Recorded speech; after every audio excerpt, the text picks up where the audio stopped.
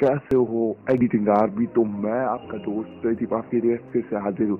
तो मैं करने वाला हूँ इस वाली फ़ोटो को एडिट करते हैं बिना किसी वेटिंग के एडिट तो सबसे पहले आप लोगों को जो फ़ोटो एडिट करनी है आप लोगों को इस तरीका का शॉप देना है।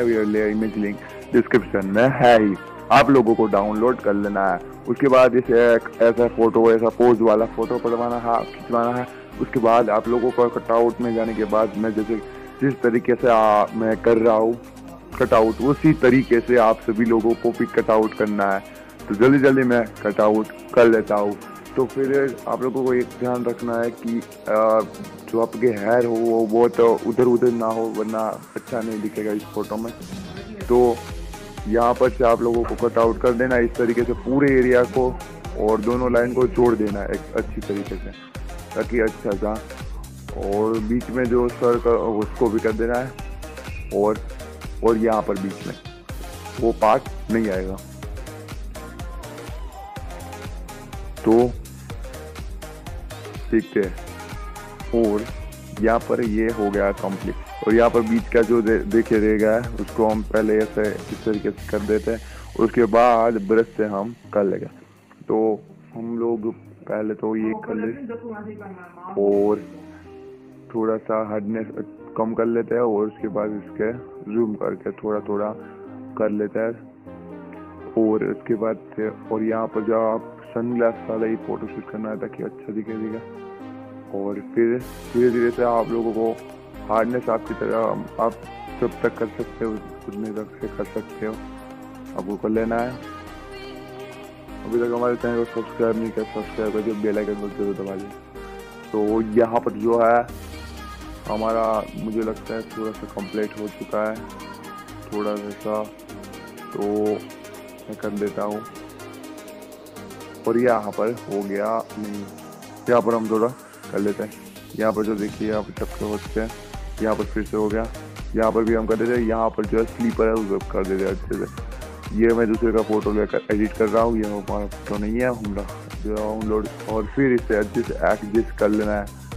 यहाँ पर मैं जिस तरीके से एग्जिस्ट कर रहा हूँ, उस तरीके से आप लोगों को भी एग्जिस्ट कर लेना। और आप लोगों को जहाँ पर आपका रख रहा हूँ, आपको रख देना है। ड्रो वाले टूल में जाना है। एंड आप लोगों को स्टीकर वाले इंटीरियर को सिलेक्ट करना है। माई स्टीकर आपको कस्टम आपको डाउनलोड करके आपके यहाँ पर कट आउट करके रखना ही है। पहले से ही उसके बाद ट्रांसफॉर्म कर देना है। आपको ये फ़ोटो कट आउट करके और यहाँ पर आपको नीचे जाने देना, ताकि ये पानी वाला इफ़ेक्ट अच्छी तरीके से दिखाई दे। जिस तरीके से मैं कर रहा हूँ, उस तरीके से आप लोग कर सकें और फिर फिर इसकी ब्राइटनेस ओपी ओपिसिटी बहुत कम कर देंगे तो अच्छी देर का टून दिखाई देगा हम लोगों को।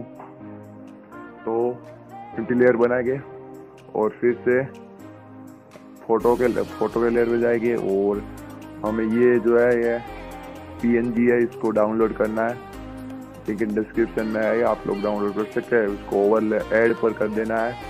एंड इसको इस तरीके से। और यहाँ पर जो हमारे उधर उधर आ रहा है, उस तरह को यहाँ पर रख देना है। और इसको कर देते हैं इरेज यहाँ पर जो हमारे बीच में लग रहा है कि यहाँ पर आ रहा है तो हमें उसको कर देना है इरेज अच्छी तरीके से इरेज करोगे तो तो ही अच्छी तरीके से दिखाई देगा आप लोगों को। तो आप लोगों को अच्छी तरीके से ही करना है काम को। और यहाँ पर मैं जिस तरीके से ये डिज़ाइन कर रहा हूँ, उसी तरीके से आप लोगों को करना है कोई न, कोई आपको नया नया नुस्खा आता है तो आप कर सकते हो। भी मर्ज़ी। और यहाँ पर यहाँ पर से उस तरह से, उस तरह से निकल रहा है, ऐसा थ्री शेप आना चाहिए।